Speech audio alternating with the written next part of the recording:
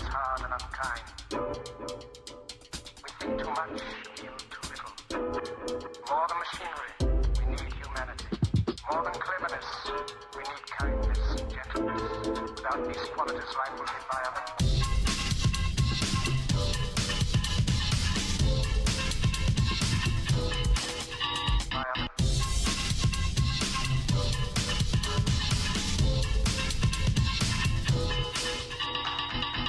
All to one another.